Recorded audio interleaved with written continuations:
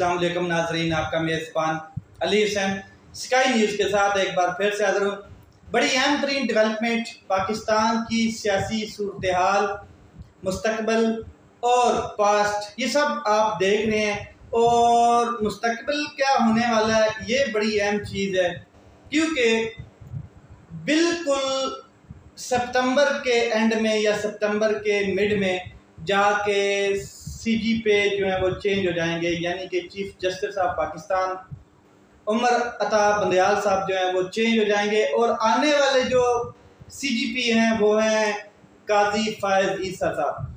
अब chief justice Umar Ata Bandial साहब के बारे में तो आपको पता ही है, उनके फैसले किस तरीके से उन्होंने पिछले सोलह महीनों में बर्डन भी बर्दाश्त किया, ताकतवर की कॉल भी बर्दाश्त करते रहे।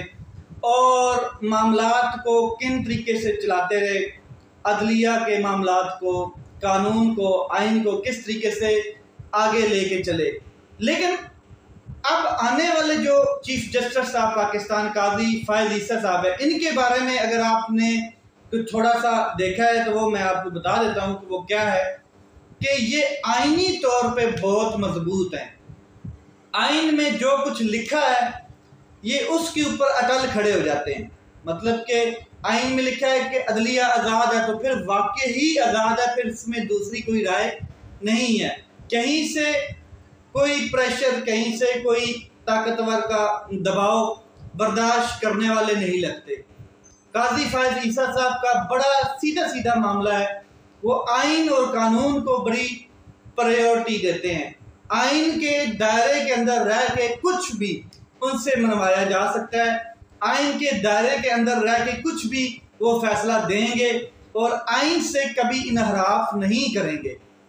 ये बिल्कुल उनकी एक शख्सियत नज़र आती है, क्योंकि उन्होंने जो भी बातें की हैं इस पिछले सोलह महीनों में, उनसे ये बिल्कुल वाजह होता है कि आइन को ही मतलब क्या कहते हैं, मानते हैं और आइन के ऊपर ही अटलना है। इन्होंने किसी का कोई प्रेशर किसी की कोई जानबदारी वाला सेटअप नहीं बर्दाश्त करना, एक चीज़। अब अहम इश्यू जो इस टाइम पाकिस्तान में, वो ये है कि सियासी इंस्टेबिलिटी यानी कि अदम इसकाम जो पोलिटिकल है, वो बहुत बड़ा इशू है। उसकी सबसे बड़ी रीज़न ये कि जो पाकिस्तान का मकबूल तरीन लीडर है, इमरान खान साहब, उसको उठा के जेल में फेंक दिया गया है और एक ख़ास किस्म की प्लानिंग के तहत बहुत से मुकदमात बनाए जा रहे हैं उनके ऊपर। लेकिन जो अब कुछ दिन रह गए हैं चीफ जस्टिस साहब पाकिस्तान के, उमर अता बलियाल साहब के। क्या इमरान खान साहब को रिलीफ मिल जाएगा? क्या इन दिनों में चीफ जस्टिस उमर अता बलियाल साहब कुछ ऐसे फैसले कर जाएँगे जो आने वाले चीफ जस्टिस ऑफ़ पाकिस्तान हैं वो उन्हीं को नथी करके आगे चलेंगे या उनके फैसले अलग होंगे। ये चीज़ें अब इमरान खान साहब को रिलीफ इस्लामाबाद हाई कोर्ट से तो मिलना बहुत मुश्किल है। तमाम के तमाम केसेस कलेक्टिवली उठा के इस्लामाबाद हाई कोर्ट के सामने रखे जाएँगे। इन्हीं दिनों के अंदर, यही एक महीने के अंदर अंदर आपको तमाम चीज़ें एक सिमत में जाती हुई नज़र आएँगी। और इमरान खान साहब अपनी रिहाई के लिए कानूनी और आइनी जंग लड़ रहे हैं और उसी आइनी जंग के ऊपर, कानूनी जंग के ऊपर वो बाहर आएँगे। क्योंकि कोई डील नहीं करने वाले, कोई डील नहीं करने वाले। किसी किस्म का प्रेशर नहीं गेन करने वाले वो। किसी किस्म की मतलब कि मुआदा करके वो बाहर नहीं आने वाले। वो आइन और कानून के मुताबिक अपना राइट इस्तेमाल करके आएँगे। लेकिन तमाम जो उनके मुकदमात हैं, उनको कलेक्टिवली उठा के ख्वाजा साहब जो हैं, यानी कि आमर फारूक साहब, chief justice Islamabad high court के उनके सामने रख दिए जाएँगे। वहाँ से इनको रिलीफ नहीं मिलेगा, जिसके बाद तमाम के तमाम सारे मुकदमात को एक पटिशन के ज़रिए सुप्रीम कोर्ट के सामने जाके रख दिया जाएगा। ये इन ये चंद ही दिनों में। यानी कि चीफ जस्टिस उमर बंदयाल साहब की मौजूदगी में ये सारा काम होगा। और तमाम केसेस वहाँ पर जाएँगे सुप्रीम कोर्ट ऑफ़ पाकिस्तान में, जो उड़ा के रख दिए जाएँगे। तमाम के तमाम केसेस उड़ा के रख दिए जाएँगे। और जिसमें इमरान खान साहब को बहुत बड़ा रिलीफ मिल जाएगा, एक चीज़। दूसरा सुप्रीम कोर्ट ऑफ़ पाकिस्तान के सामने एक पटिशन जल्दी जमा हो जाएगी। और वो पटिशन ये है कि जो ऑफिशियल सीक्रेट एक्ट जो सदर पाकिस्तान के दस्तखत के हवाले से एक बयानिया चल रहा है कि ऑफिशियल सीक्रेट एक्ट के ऊपर उन्होंने दस्तखत किए हैं और आर्मी सीक्रेट एक्ट के ऊपर उन्होंने दस्तखत किए हैं और ये बाकायदा कानून बन चुका है, उसके तहत अदालत क्या कहते हैं, काम कर रही है और ट्रायल हो रहा है इमरान खान साहब का। तो सुप्रीम कोर्ट ऑफ़ पाकिस्तान के चीफ जस्टिस साहब के सामने ये जब मामला जाना है तो सिर्फ़ और सिर्फ़ दो दिन में इसको उड़ा के रख दिया जाना है। कैसे? कि चीफ जस्टिस ऑफ़ पाकिस्तान ने सिर्फ़ और सिर्फ़ सदर पाकिस्तान से ये पूछना है कि क्या आपने इसके ऊपर दस्तखत किए हैं या नहीं?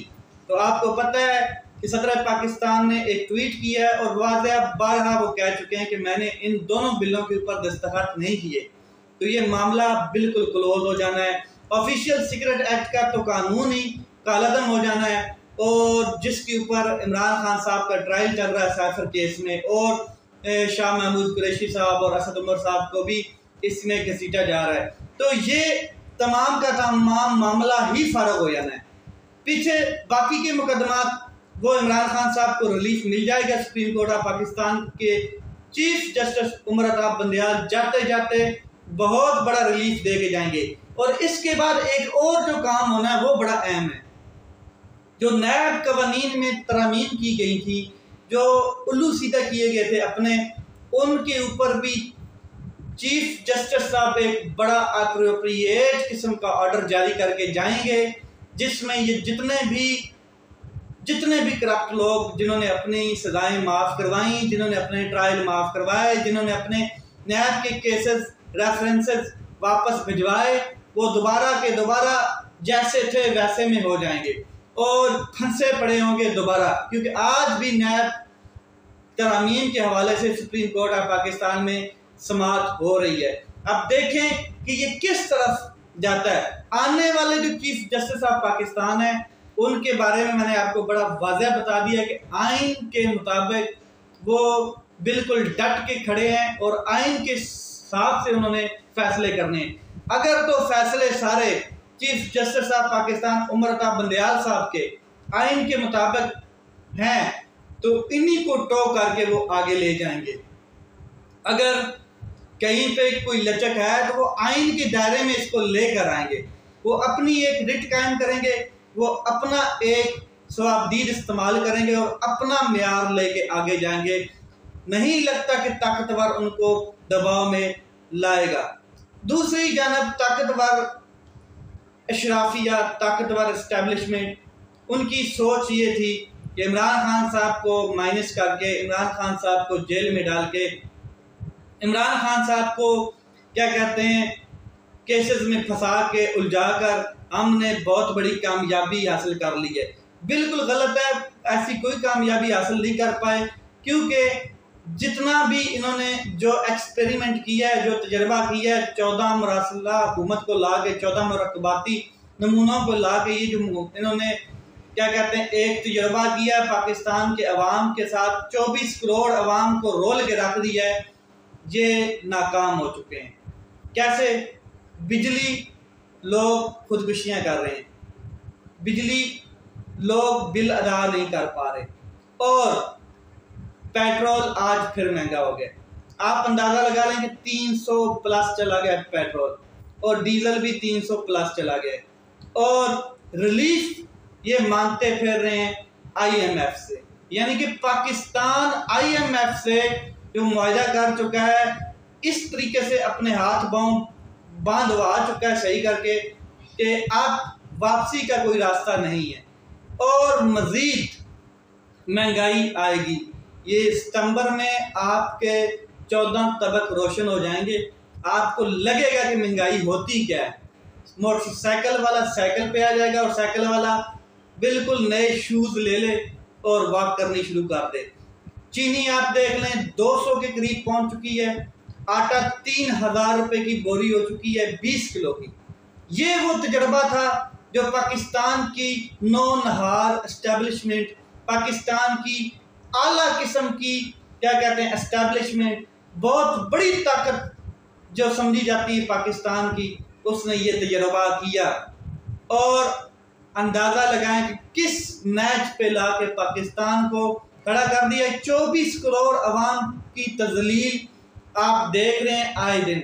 लेट्स सी क्या होता है, क्योंकि ये आने वाले पंद्रह बीस दिन बड़े अहम हैं। इसी में तमाम मामला क्लोज हो जाने हैं। वाइंड अप होने हैं मामला और चीज़ों को क्लोज किया जाना है, ख़ास करके जो इमरान खान साहब का मामला है, इसको बिल्कुल फ़र्क किया जाना है। और इमरान खान साहब को रिलीफ मिलना है, क्योंकि इलेक्शन जो है वो नवे दिन में सुप्रीम कोर्ट ऑफ़ पाकिस्तान ने वादा कह दिया कि होने चाहिए। और जो काकड़ साहब हैं, अनवार हक काकड़ साहब, वो भी ये कह चुके हैं कि अगर सुप्रीम कोर्ट ये डिक्टेट कर रहा है तो बिल्कुल आइन के मुताबिक नवे दिन में ही इलेक्शन होंगे, और ये बहुत ज़रूरी है। अभी देखना ये है कि नबे दिन में इलेक्शन होते हैं, देखना ये है कि इमरान खान साहब को कितना रिलीफ मिलता है, देखना ये है कि आईएमएफ की मोहताज हुकूमत और गुलाम हुकूमत पाकिस्तान के 24 करोड़ अवाम को कितना रिलीफ दे पाती है? और देखना यह है कि अवाम सिविल नाफरमानी की तरफ़ जाती है या नहीं जाती, या अपने हक के लिए एहतजाज करती है या नहीं करती है।